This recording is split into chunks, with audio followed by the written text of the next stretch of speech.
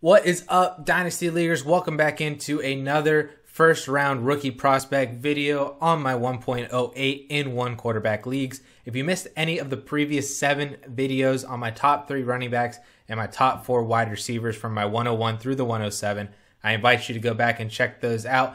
Otherwise, this video we're going to be talking about one of the most electric players in this class that is not at the running back and wide receiver position and that is Florida tight end Kyle Pitts. So let's get into it.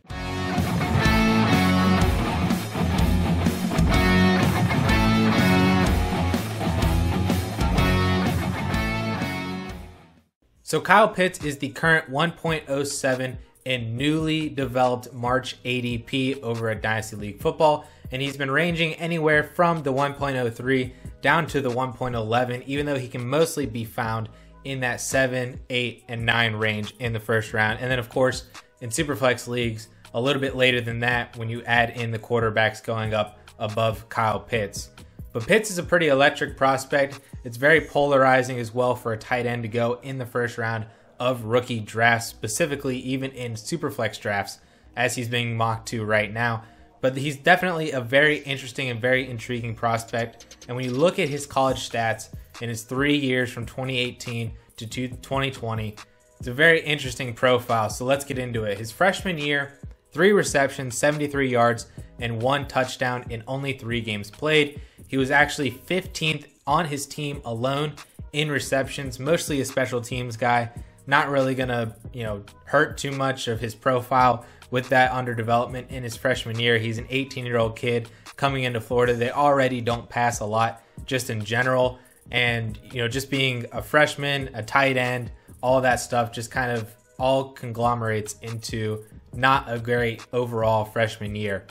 You look at his sophomore season though 54 receptions 646 yards and five touchdowns. This was the breakout season for kyle pitts. This is what put him on the map as a top tight end in the 2021 tight end class and this is really where you saw Kyle Pitts showcased all of his strengths, all of his abilities to be a deep field threat, a red zone threat. He led the team in receptions that year and was barely behind Van Jefferson in receiving yards and receiving touchdowns, who then went on to play and is currently playing for the LA Rams. So now, junior year 2020, no Van Jefferson here. Kyle Pitts really showed out 43 receptions, 770 yards, and 12 touchdowns in eight games played. He actually missed three games with a concussion, slash, he also got nose surgery from an illegal targeting hit against Georgia, and then he opted out of Florida's bowl game to prepare for the 2021 NFL draft. So he did all of that crazy production, nearly 100 yards receiving per game, and over one receiving touchdown average per game in eight games. And he also did that while producing alongside wide receiver breakout Kadarius Toney, who is also being talked about as a first round pick in this year's class, even though some like myself don't necessarily agree with that. But he did break out, and Kyle Trask had a pretty solid showing as well. An early Heisman favorite, even though he faded off down the stretch. Speaking of Heisman, Kyle Pitts actually finished 10th in Heisman voting in 2020, which was pretty crazy to me. I did not know that. And that is actually the first time in 43 years that a tight end has cracked the top 10 in Heisman voting. So that tells you anything about what NCAA and how the Heisman voters feel about Kyle Pitts. They, you know, top 10 in Heisman voting. That's pretty solid and pretty favorable recognition for a tight end prospect in 2021. So overall, after three years in college and two fantastic years, Kyle Pitts is now a 2021 NFL tight end prospect. And so when you look and dive into analytics, and let's first talk about analytics for the tight end position because we really haven't talked about that yet. Analytics for the tight ends position is pretty difficult only because there's not a lot of consistency in terms of successful tight ends moving to the NFL outside of just a couple variables, just like wide receivers. We can pin down a couple significant variables for tight ends, and that's mainly size and speed combinations. You think about guys like Jimmy Graham, Rob Gronkowski, more recently Noah Fant, TJ Hockenson, Darren Waller. These guys are huge. They're athletic. They can make awesome catches. They can get down the field. and they're more than just possession tight ends, more so than a Zach Ertz, Greg Olsen, or a Jason Witten type player. These guys are now size, speed, combo, freak athletes just playing at the tight end position. And that's what Kyle Pitts is. So he definitely fits that mold. The other key point for tight ends is draft capital. A lot of the most successful tight ends in the NFL currently are first or second round draft picks. So when I was looking more so for Kyle Pitts analytically and how he at least comps to a lot of other successful tight ends in the NFL, what I did was filter down my data set all the way down to tight ends that have at least one top five fantasy season. I didn't want to go so low as only one top 12 tight end season because that's not really going to be a hit basically the league winning guys are the guys who finish in the top five, even top three specifically. You think about Travis Kelce and Darren Waller, how amazing they were in 2020. League and roster changing type of players. With Kyle Pitts and his hype and his current rookie draft capital right now, you need him to be that type of a game changing tight end for your roster, and you need him to do it early on as well. So I compared him to a bunch of these tight ends a bunch of guys who have at least one top five tight end season in the NFL, like Mark Andrews, like George Kittle, like Ertz, Kelce, Jordan Reed, Rob Gronkowski, Jimmy Graham, even Jared Cook and Martellus Bennett back in the day in the early 2010s. And the first thing that stood out to me was, like I said, there's not a lot of consistency here outside of size speed combo freaks and draft capital. I looked at college dominator rating. All these guys produced at some level in college football. The average was a 22% college dominator of these tight ends in this data set. That is actually right on point to where Kyle Pitts is. He had a 22% college dominator rating at Florida over his three years. So he hits on that perfectly. I looked at breakout age. Breakout age for tight ends can be measured at a 15 or 20% threshold, unlike wide receivers that are 20 and 30%. For tight ends, it's 15 and 20. Kyle Pitts has a 19 year old 15% breakout age and a 20 year old 20% breakout age. And that's pretty consistent with a lot of these other tight ends as well.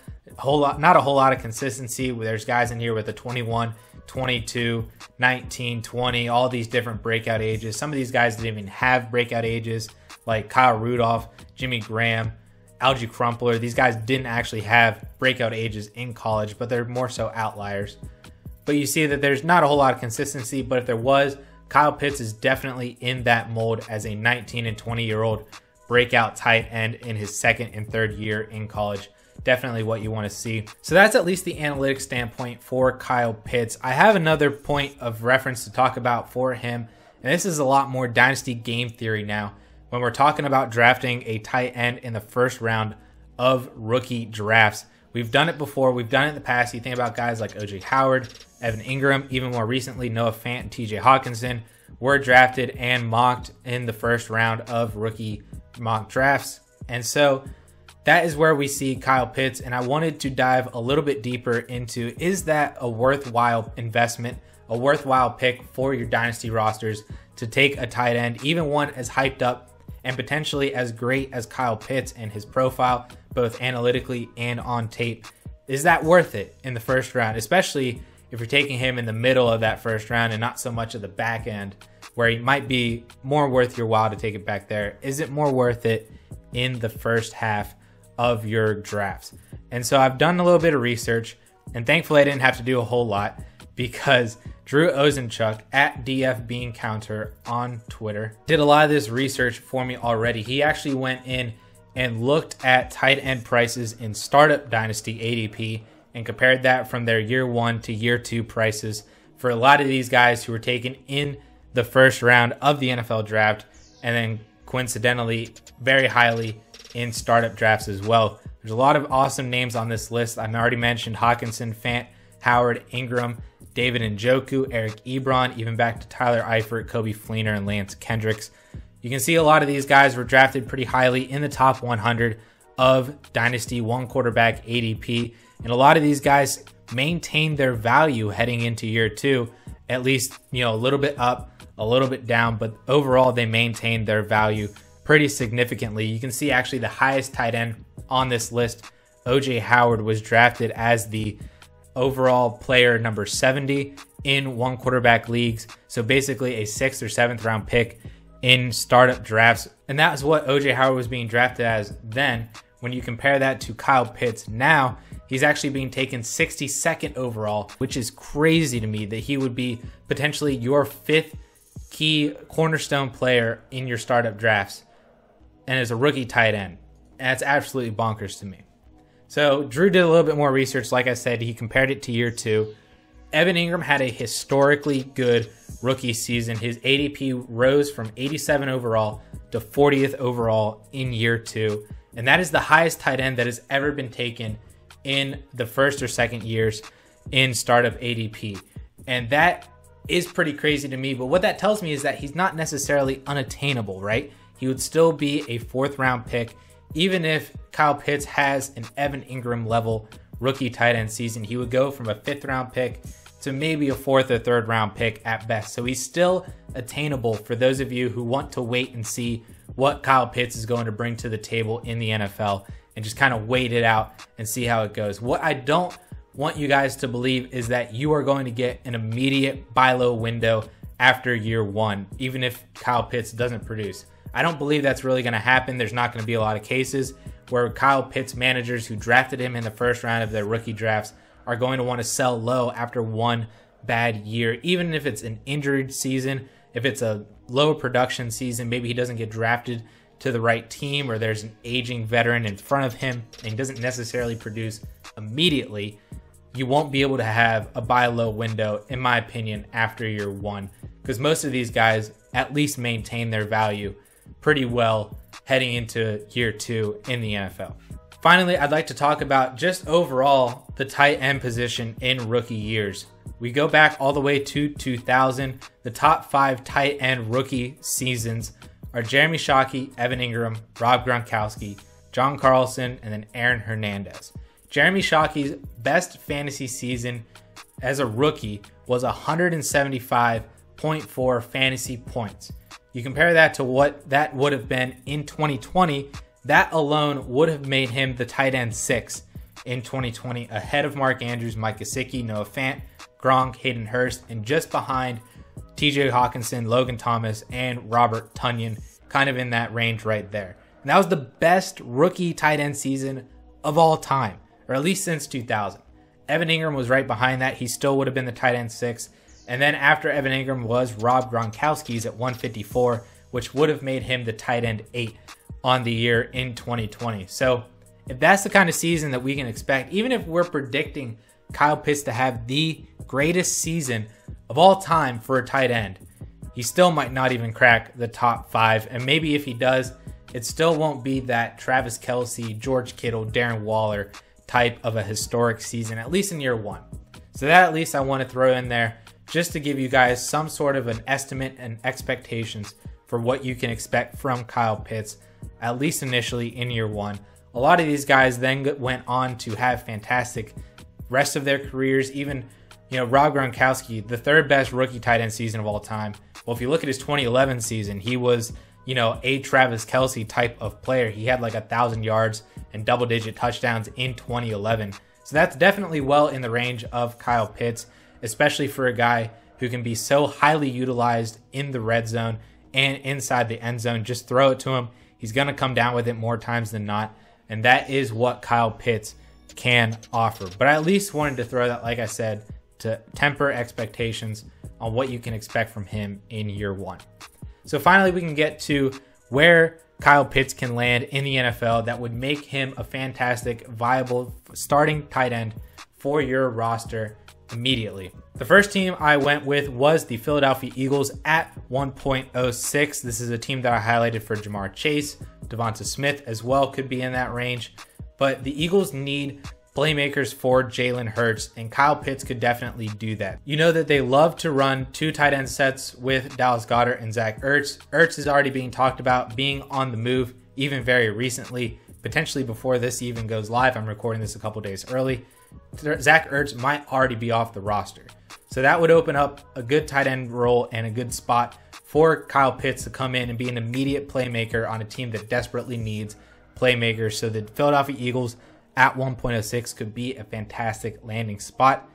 The next one is the Los Angeles Chargers at 13 overall. This is a team that he could immediately come in with a fantastic young quarterback and be an immediate target and red zone threat.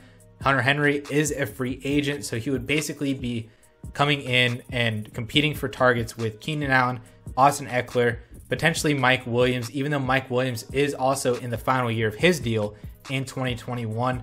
So remains to be seen if he gets brought back for Kyle Pitts' second year, potentially if he gets drafted by the Chargers.